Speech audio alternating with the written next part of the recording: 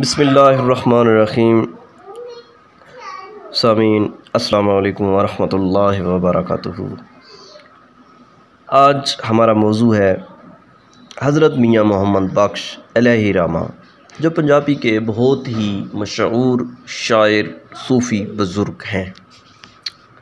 آپ کا پنجابی کلام، کیونکہ آپ پنجابی کے شاعر تھے، تو آپ کا پنجابی کلام شاہ حسین علیہ رامہ بلے شاہ علیہ رامہ اور دوسرے بزرگ شاعروں کی طرح پوری دنیا میں بڑے ذوق و شوق سے سنا اور پڑھا جاتا ہے۔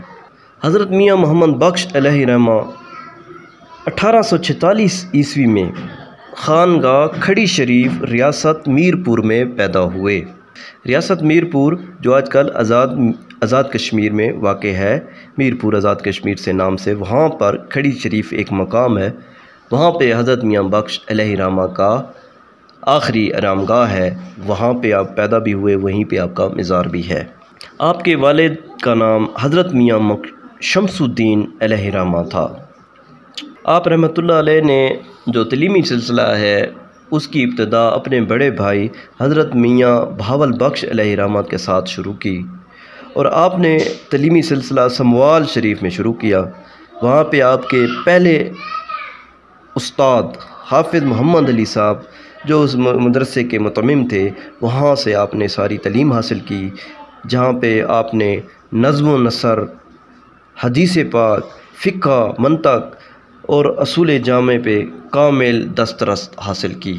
بیت کے سلسلے میں آپ بھی حضرت جناب سائیں غلام محمد صاحب کلوڑی شریف کلوڑی شریف، جس نے نام سنا ان کو پتہ چل جائے گا، کلوڑی شریف والوں کے ہاتھ پر بیت ہوئے۔ اس طرح آپ رحمۃ اللہ علیہ حضرت جناب سائیں غلام علی، غلام محمد صاحب کے ہاتھ پر آپ نے بیعت کی۔ اگر آپ کی تصنیفات جو آپ نے تصنیفات تحریر کی، آپ کی کتابوں کا ملاحظہ کیا جائے تو بہت سی تصنیفات ہیں۔ سب سے مشہور تصنیفات میں سیف الملوک ہے، جو پوری دنیا میں پڑھا اور سنا جاتا ہے اور بڑے خوبصورت انداز سے پڑھا جاتا ہے۔ اسی طرح تحفہ میرا، کرامات غوث اعظم، آپ کی کتاب میں شامل ہے، بڑی اچھی کتاب۔ مجزات چن مجزات جناب سرور کائنات صلی اللہ علیہ وآلہ وسلم، بڑی پیاری کتاب۔ گلزار فقراء ہے، بڑی اچھی کتاب۔ نرنگ عشق مرزا صاحبہ سسی پنو، ہیر رانجھا تذکرہ مقیمی، قصہ سونی میوال شاہ منصور شریف فرات، سیف الملوک اور اسی طرح بہت سی نایاب کتابیں آپ کی جو ہے نا، آپ نے آپ نے تحریر فرمائی اور پوری دنیا میں آپ کی جو کتابیں ہیں وہ پڑھی جاتی ہیں۔ آپ کو زبانوں کے لحاظ سے دیکھا جائے تو آپ کو فارسی پر پورا بور تھا، اردو پر اردو پر پورا بور تھا۔ اور پنجابی کے، کیونکہ آپ بڑے شاعر ہیں، اس پہ، اس کی نظم و نثر پہ آپ کا مکمل درسرس حاصل تھی اور ماشاءاللہ خوبصورت شاعری کی ہے۔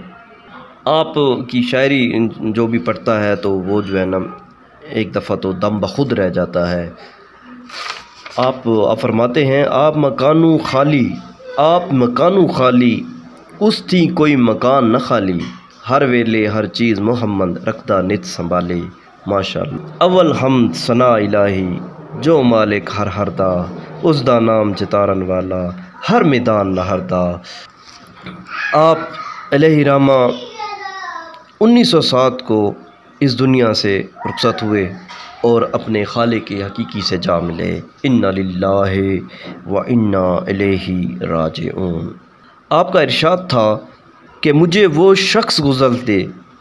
مجھے وہ شخص غسل دے جس نے ساری عمر غیر محرم کی طرف آنکھ اٹھا کر بھی نہ دیکھا ہو۔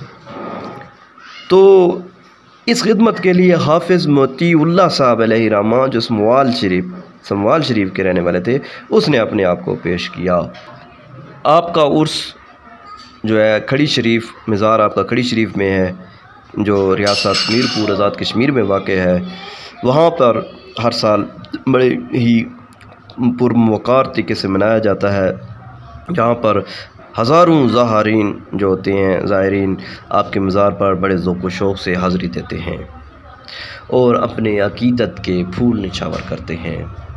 تو سمین آج کا ہمارا موضوع تھا حضرت میاں محمد بخش علیہ رامہ کیونکہ ہمیں اپنے بزرگوں اور اپنے اسلاف کو جو ہے نا یاد رکھنا چاہیے، ان کی تاریخ کو یاد رکھنا چاہیے اور ان کے ساتھ اپنے آپ کو منسلک کرنا چاہیے۔